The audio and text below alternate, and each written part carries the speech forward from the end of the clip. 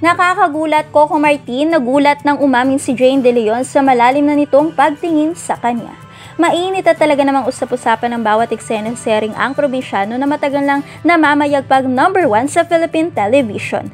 Kahit pa nawalan ng prangkisa ang Kapamilya Channel ay namayagpag ito sa online at ngayon nga ay kasalukuyang nasa A to Z ito mapapanood. Marami nang tinakbo ang sering ito at mga pinagdaanan.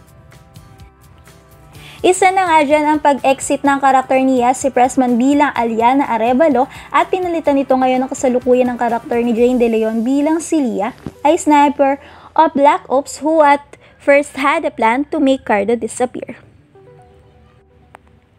Pero sa pagtagal ng kanyang role bilang Lia, ay napapalapit na ito sa karakter ni Cardo at talaga namang masasabing nagiging close na ang dalawa at di may pagkakailang may chemistry din naman talaga sila.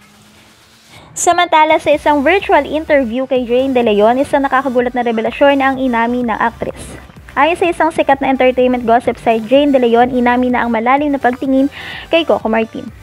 Ayon daw kay Jane noon sa naging interview nito sa Inquirer.net, he really took time to know me. He's too kind. Sobrang tutok niya, especially when I had to go up to the roof to shoot for my scenes. I felt so grateful to him that at one point I also wanted to offer him a glass of water. She said, laughing.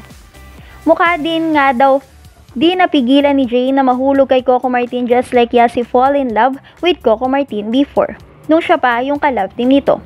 Di naman nga kasi may pagkakailang Coco is such a gentleman that all the girls get a crush on him every time makakatambal niya ito.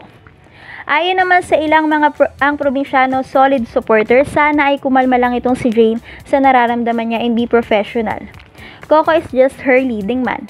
Kung si Yasi nga daw ay matagal na nakasama ni Coco sa serye at nakarelasyon pa daw, eh tanggap na na may Julia Montes na si Coco Martin. Sana daw eh yun ang tumata kay Jane para di na ito maghangad pa ng mas malalim na relasyon kay Coco Martin. Be professional just like how Coco is being professional. Samantala wala pang publikong pahayag si Jane De Leon kung tunay ang lahat ng ito. Jane De Leon malalim na nga ba ang nararamdaman para kay Coco Martin?